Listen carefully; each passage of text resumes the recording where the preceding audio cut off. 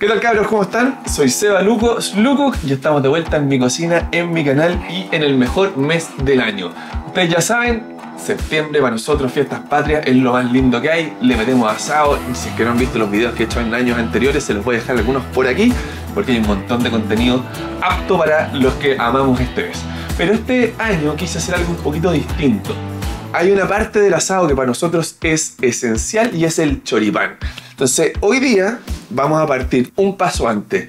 El choripán va en marraqueta. Y la marraqueta es nuestro pan, nacional, es el pan que más nos gusta, pero lo entretenido es que ustedes con este video van a poder hacer su marraqueta y el choripán completo. Así que eso, sin más bla bla, voy a invitar, porque yo no soy panadero, voy a invitar a un amigo mío que se maneja, pero como los dioses en esto, el crunchy pan, pase por acá nomás. Bueno, compadre. Fin, ¿cómo estás? eh? Hasta que salió el video. Salió, oh, buenísimo. Oye, tus redes sociales para que te puedan seguir. Instagram es. Crunchy-pan. Hicimos partir por nuestro pan ícono, yo creo. El emblema, bueno, la marraqueta es la reina, la panería tradicional chilena.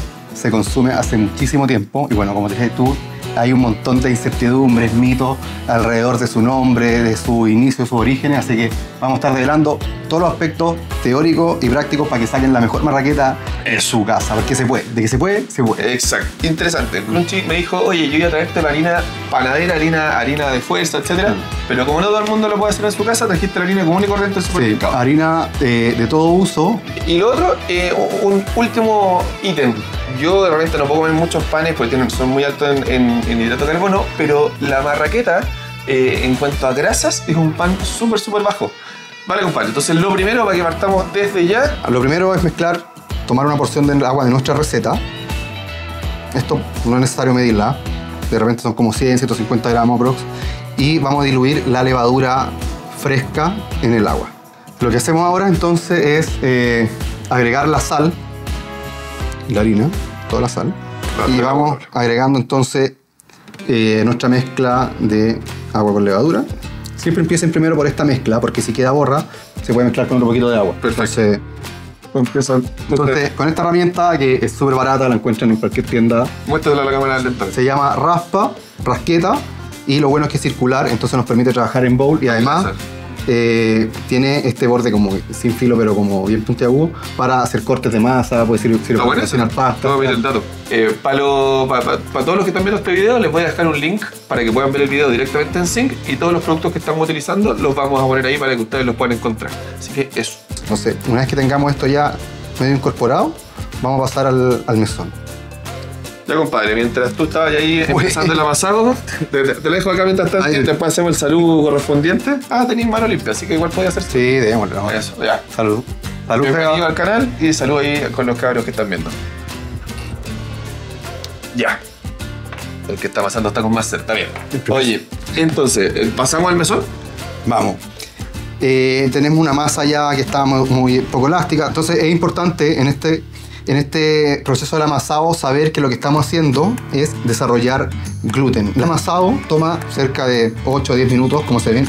Como se fijan, ya empieza como a aglutinarse la, Eh, tiene una- se empieza a ver más firme ya. Claro, se empieza a ver más firme. Lo que tenemos que lograr es una textura lisa, consistente y bien homogénea.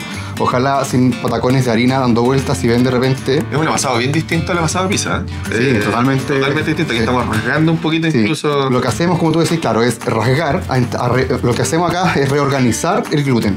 Una, una cosa bien interesante de lo que estabais mencionando, de el, el- el amasado está generando gluten y mucha gente dice, oh, yo soy intolerante al gluten o me caen muy mal los panes, me compro una marraqueta en el supermercado y me cae pésimo. Justamente, eh, a mí incluso me pasó en un minuto, yo llegué a pensar que yo era medio intolerante al gluten y me di cuenta que lo que yo era intolerante era intolerante a los panes que no tenían procesos de fermentación. Eh, al final el pan lo que me pasaba es que me lo comía y me estaba fermentando en la guata y terminaba hinchado, lo pasaba pésimo. Pero lo que es muy importante es que si ustedes compran pan en panaderías de barrio que hacen los procesos de fermentación más lentos, o lo hacen también en, eh, o lo hacen en la casa como lo estás haciendo tú, y respetamos los procesos de fermentación, la levadura va a cumplir su efecto afuera de nuestro estómago y no adentro. Y por lo tanto, la- el pan va a ser mucho más ligero. Lo mismo que pasa cuando hemos hablado con todos los muchos videos de pizza que hemos subido en este canal. Aquí ya estamos terminando el amasado. La atención es importante porque nos va a ayudar a nosotros a conservar eh, los gases internos que tenemos dentro de la, de la masa. perfecto. Eso es, porque finalmente lo que hacemos es terminamos como de tensar el gluten en la capa. Cuando hablamos de tensión me refiero a la capa superficial a esta. Que se vea, que se vea, claro, que no, Sí. que no se desparrame la masa. Claro, entonces, ¿cómo lo tensamos? Es fácil. Según voy yo. Así, con los dedos van tirando acá, en este caso grande. Más adelante vamos a hacer uno más chiquitito.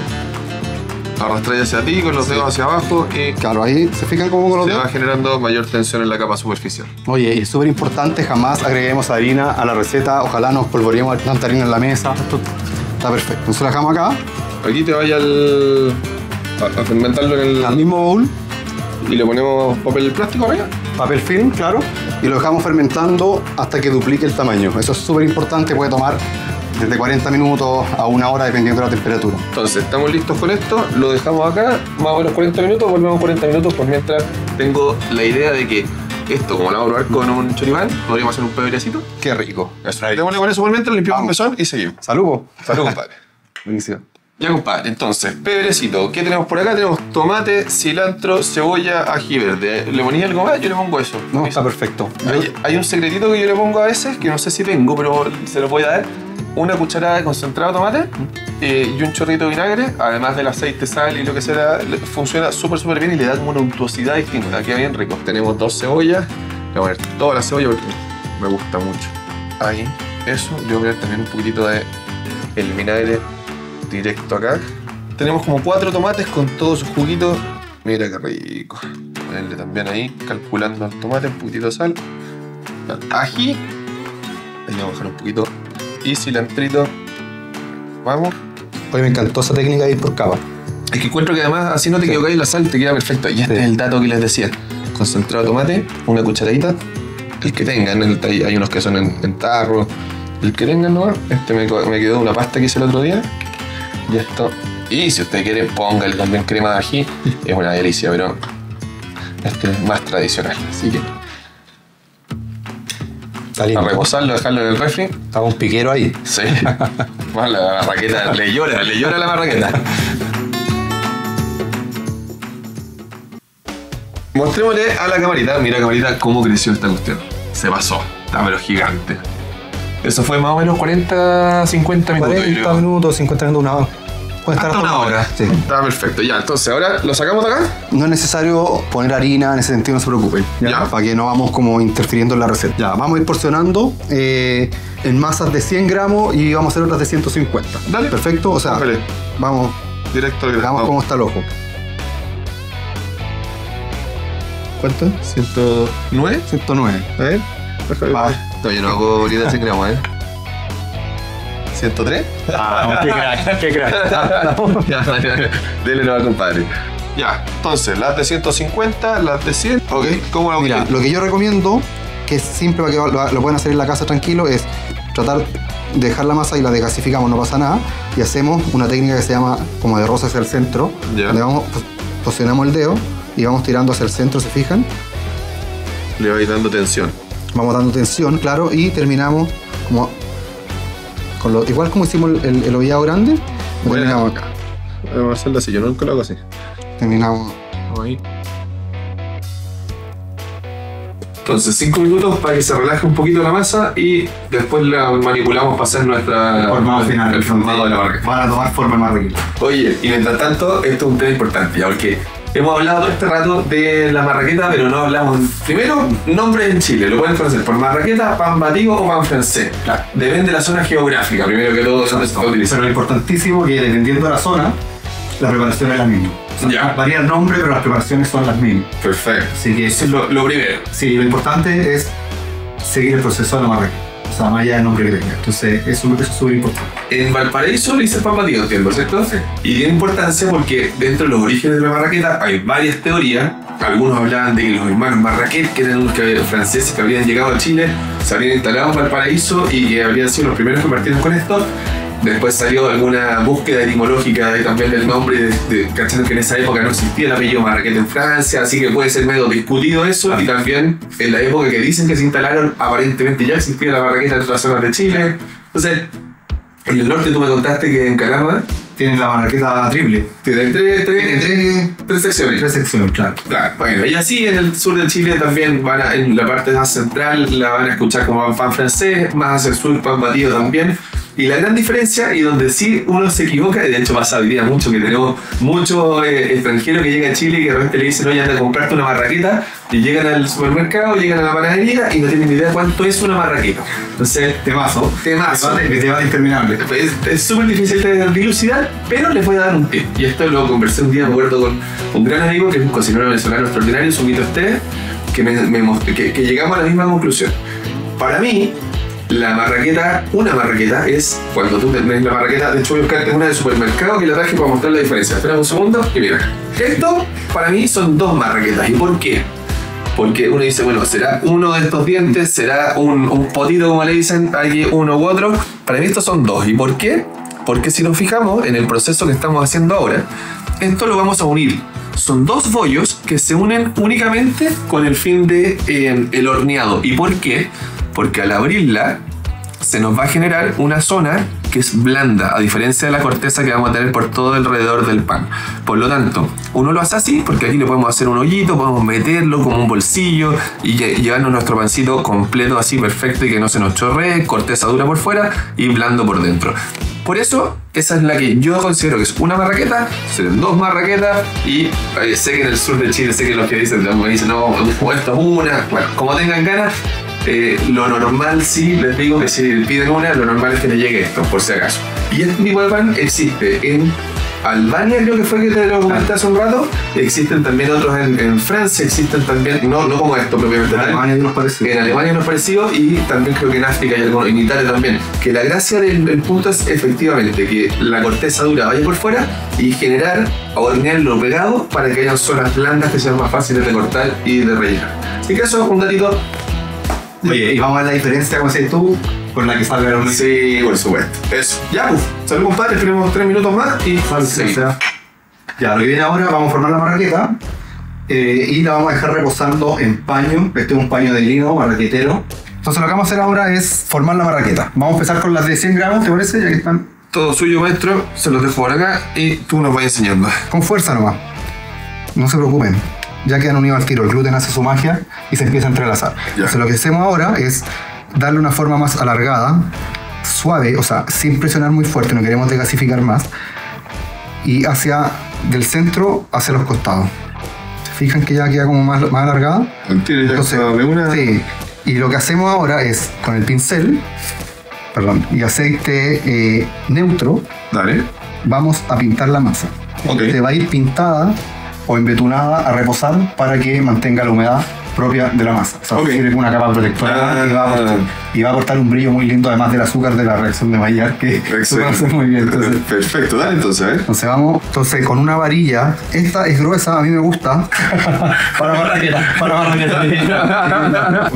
Aparte la, vamos- la vamos a embetunar. Lo que vamos a hacer es presionar la marraqueta fuerte, sin miedo, hasta abajo. Ah, ¿Se fijan? todo. Sí, y terminamos ahí bien Wow. para que eh, queden bien formadas las partes de la marraqueta. En este caso va a quedar muy linda porque si se fijan se arma como una, una flechita con una punta. Sí, yo no sabía que era así de. Y ahí queda, ¿se fijan? Wow. Lo que hacemos ahora es juntarla con confianza, o sea, no, no va a pasar nada. La giramos, la giramos y la dejamos reposando. Boca abajo. bo- pero sí, eso es importante. Ah, Boca abajo, o sea, la cara linda, por decirlo de alguna manera, Sí. hacia abajo. Perfecto. Porque luego es la cara que va a quedar hacia arriba. Oye, ya, quedaron bacanes y le pusimos el film plástico de nuevo porque necesitamos que se mantenga lo mismo que hablamos antes, conserve la humedad y así pueda ir creciendo, porque si se forma una corteza dura no van a crecer. Claro.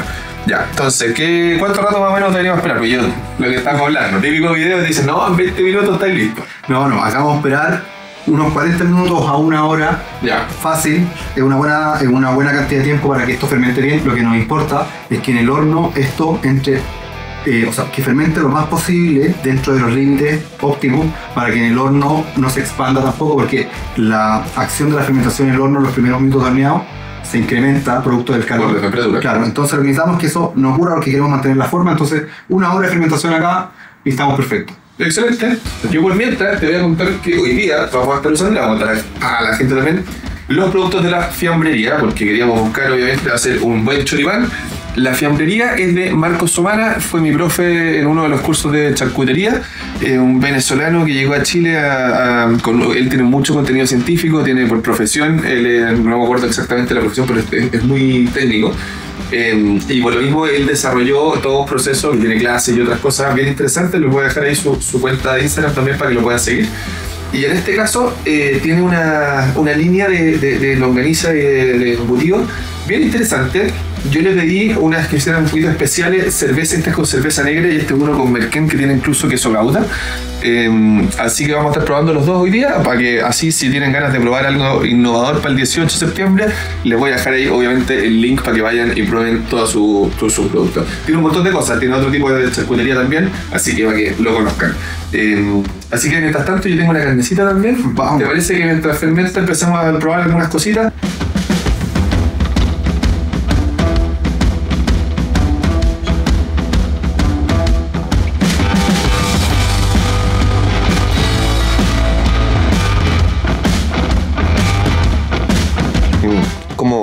Suavecito, como Súper suave. súper suave, como eso, como, como casi cremoso, así como muy rico. Sí, Está buenísimo.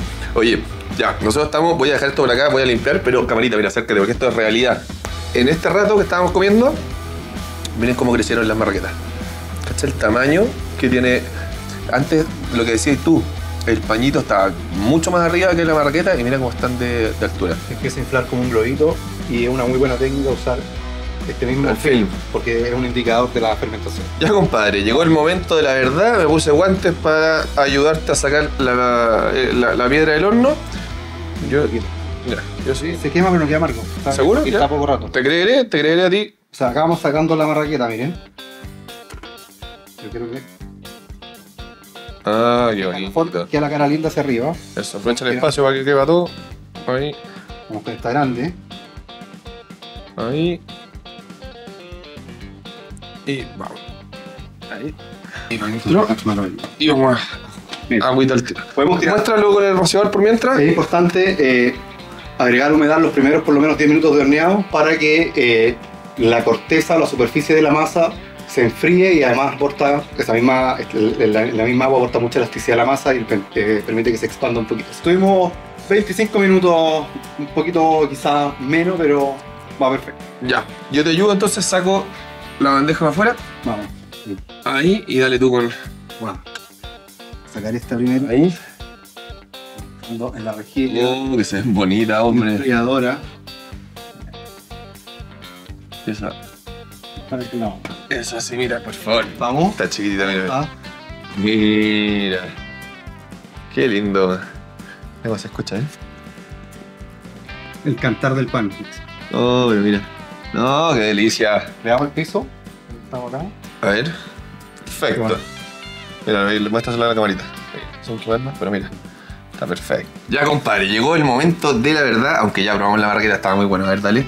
Ahí si quería le poní No, está muy puro pebre. puro pebre y yo Sí. con pebre y mayo. Salud, compadre. Salud, Seba. Y salud, chiquillos. Si les gustó lo que están viendo, por favor, like, suscríbete, comparte. La única forma de que este canal siga creciendo. Vayan a las redes sociales también de Crunchy Pan para que aprendan a hacer todas estas maravillas. Veamos, a ver cómo ruge.